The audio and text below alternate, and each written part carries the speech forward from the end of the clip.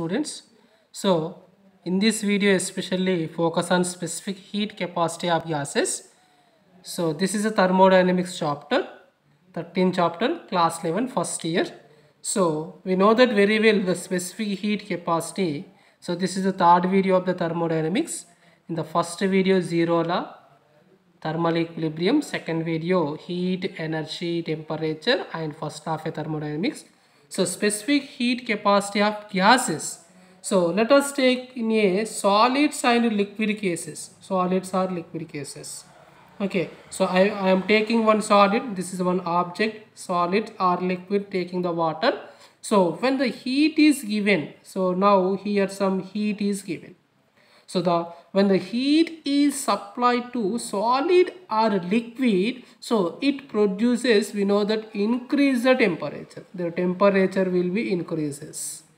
Okay, so without causing change in volume and pressure. What is the pressure and what is the volume of these uh, solids and liquids? Is it any changes, any causes? It is not affected. Just if you give some amount of a heat, solids and liquids, so just their temperature will be increases. Temperature will be increases. But what is the gases cases? Gases cases. Let us take, so this is one container. The container is having some gas okay so this is a gas. If you give some amount of a heat inside of the gas or inside of the container what happen? In this case temperature also increases. Some external work done. That means maybe pressure change maybe volume change. Okay suppose the pressure is constant volume will be changed or pressure is very small relation volume also change but in this gases what happen? If you give some amount of a heat so their pressure volume will be changed. So what is the specific heat capacity of the gases? So here i am taking this one container. The container is having one piston. So in this uh, container some gas is there. Gas molecule is there. So I'll give some amount of a heat to dq. Okay, so I'll give some amount of heat to dq. What happen? This gas absorbing, absorbing temperature or absorbing heat. So due to heat, their gas temperature will be increases. Gas temperature will be increases okay so here what is the specific heat definition i will write definition the quantity the quantity of heat.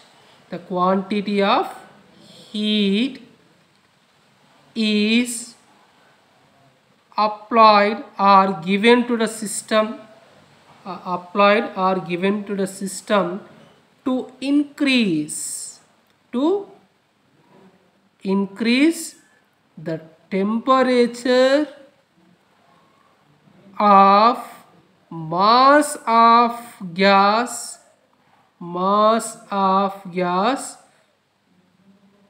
through 1 degree. 1 degree is called specific heat. Just how much heat is given to the system? This gas maybe mass or moles is increases is increases 1 degree of temperature the that is heat is called specific heat.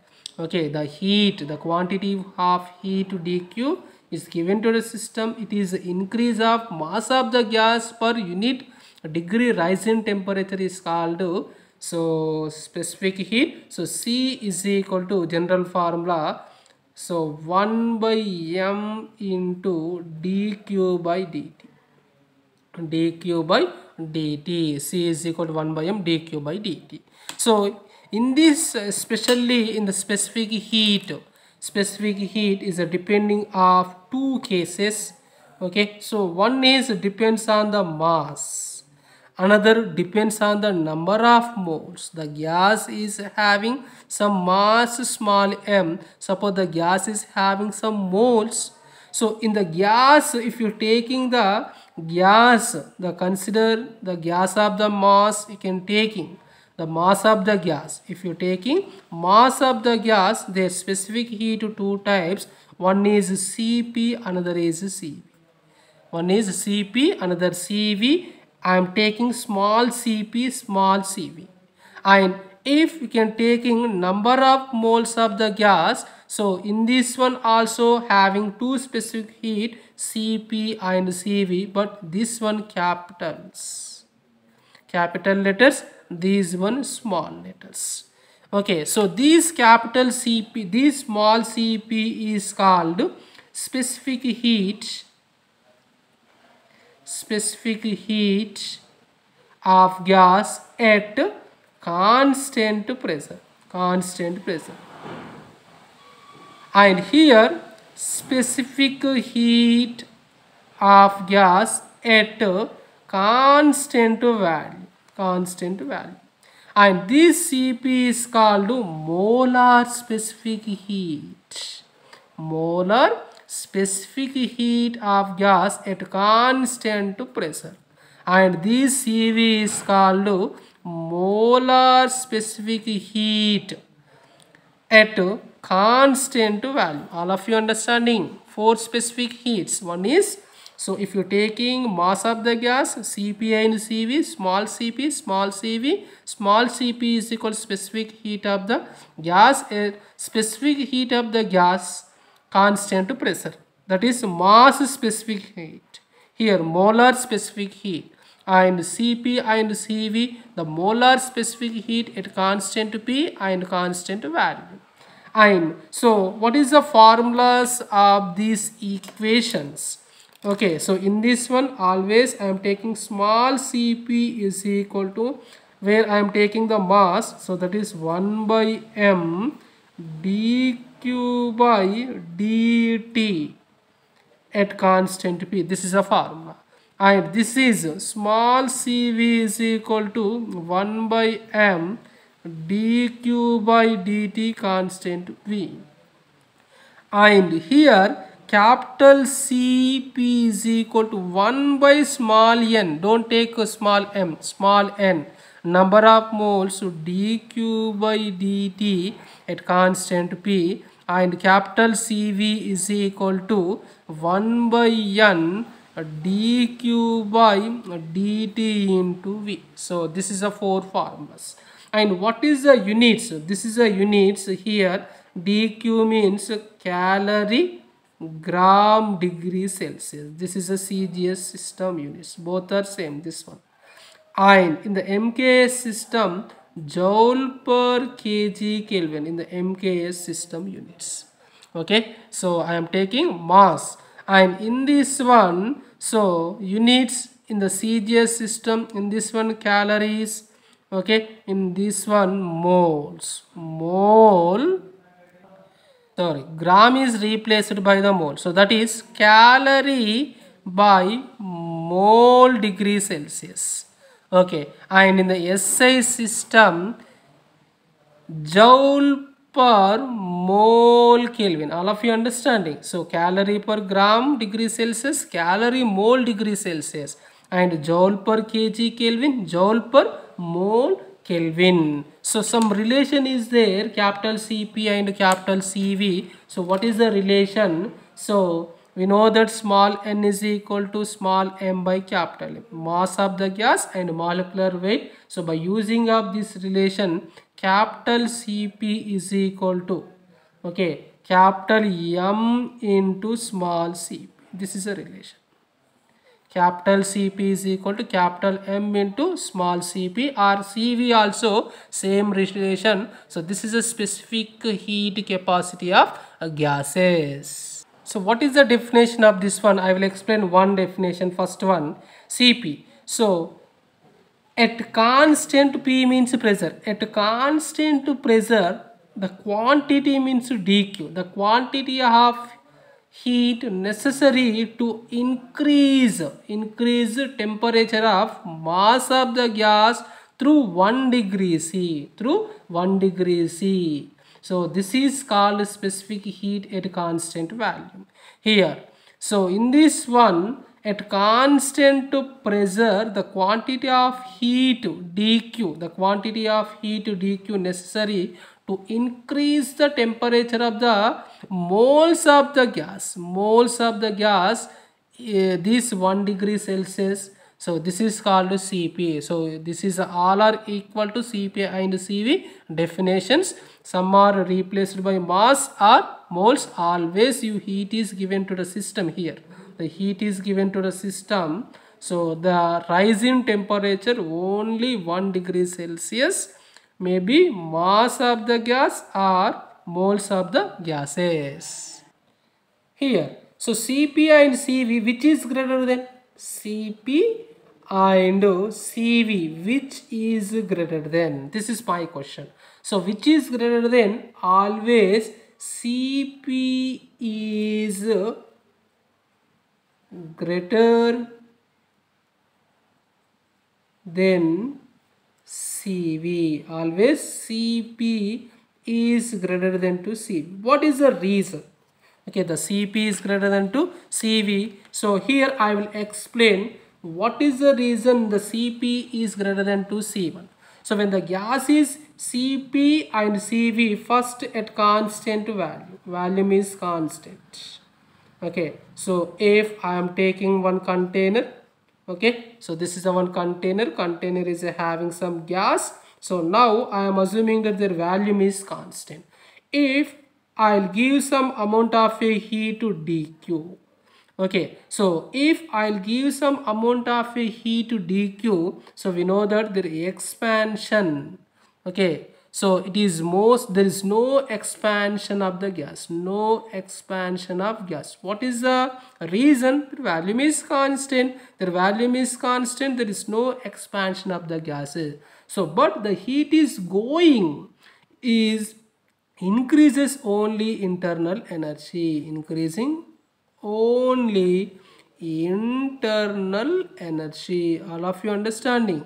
At constant volume if you give amount of a dq only using increase increase internal energy. Increase internal energy. So we know that very well according to first law of thermodynamics okay dq is equal to du plus dw or dq is equal to du plus pdv so what is the change in volume in this one? Their volume is constant. Their change in volume is equal to zero. So dq at constant volume is equal to du at constant value. This is the suffix dq at constant volume is equal to du at constant volume. But du constant volume is equal to ncv dt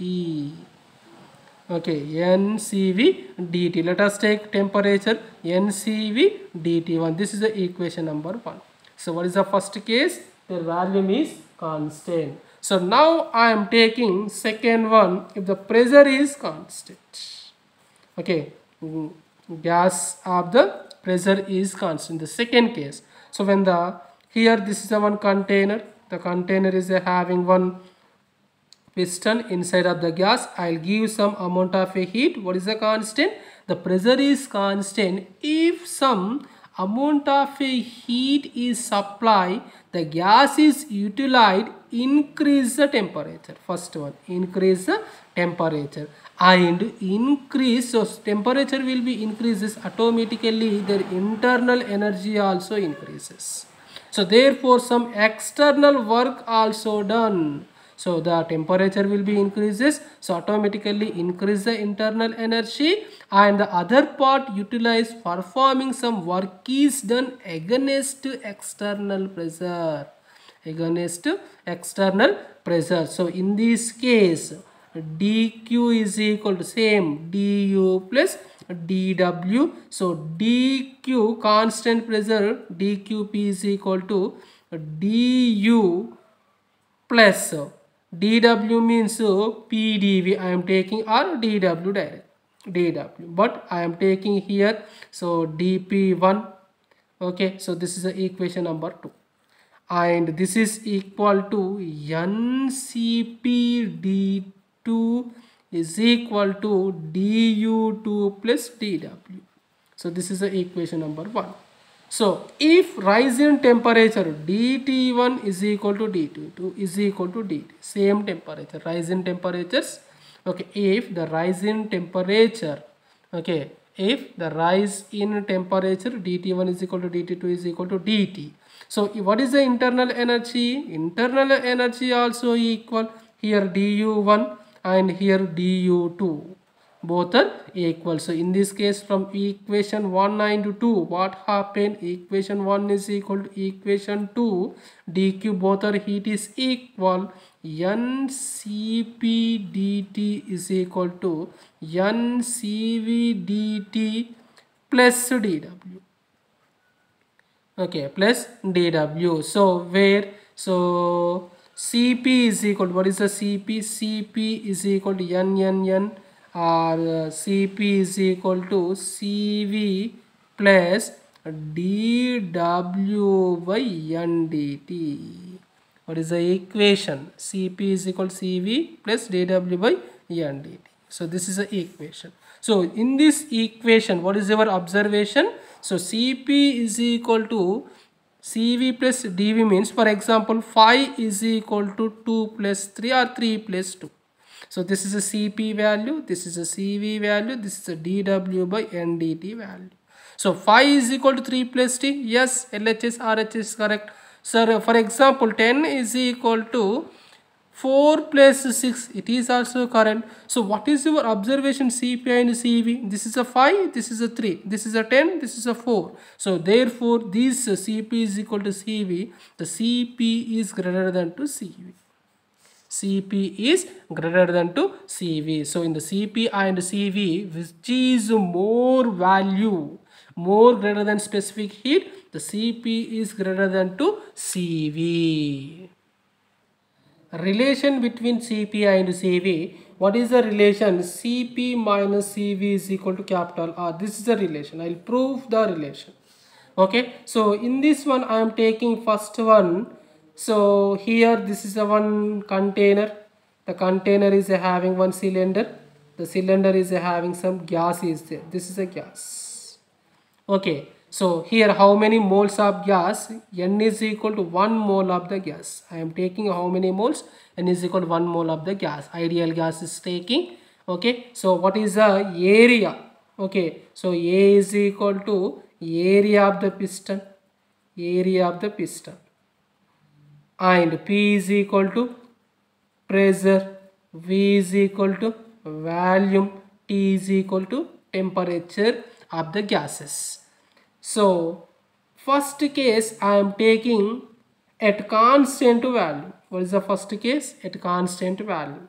Suppose at the constant volume, we know that at the constant value only temperature increases at the constant volume only delta t is increases so it is the heat is supplied the heat is supplied on the gas at constant volume only it is increase the temperature. So therefore dq v constant volume du. So we know that in the previous equation ncv dt but n is equal to how many moles? 1 mole. So therefore du is equal to cv dt this is the equation number 1 and second case at constant to pressure. Okay so this is a gas. Okay at the constant to pressure if you give some amount of a heat dq at constant pressure. So therefore it is increase the temperature some external work also done so dq is equal to generally formula. So ncpdt. But what is the n? n is equal to how many moles? 1 moles. 1 into cpdt. Okay. So this is a uh, another equation. But first law according to first law of thermodynamics. So dq constant P is equal to du plus dw at constant pressure. Du plus dw. So dq means Cp dt so du I will write the as it is du plus dw is equal to pdv we know that very well. So so this is the equation number 3 and equation 1 substitute in equation 3 okay so what is the du? du is equal to cv dt so therefore cp dt is equal to cv dt plus pdv pdv so here this is a dd here dt it is a dv value. So i am changing the dv values. So we know that pv is equal to nrt okay so p is constant. P delta v is equal to n r delta t okay so p i am taking the constant change the volume and change the temperature. R also constant. We know that n is equal to how many moles? One mole. So p dv is equal to r dt. So this pdv is substitute in this above equation. In this above equation so therefore cp dt is equal to cv dt plus r dt r dt so this equation dt dt dt cancel. Cp is equal to cv plus r. So cp minus cv is equal to capital r. Okay? Cp minus cv is equal to capital r. So this is the relation between cp and cv what is the capital r? Capital r is equal to universal gas constant universal gas constant. So what is the SI unit? So joule per mole kelvin always constant in all gases. All gases. In the previous lectures i will explain what is the capital R. I and I am taking CP and CV. Okay, so I am taking, uh, we know that capital CV is equal to M into small CVs or capital CP is equal to M into small CP. So substitute in the CP and CV capital M small CP minus capital M small CV is equal to R. So small CP minus small cv is equal to r by m. So this r by m is called small r. What is the formula? Small r. So that is small r is equal to specific specific gas constant.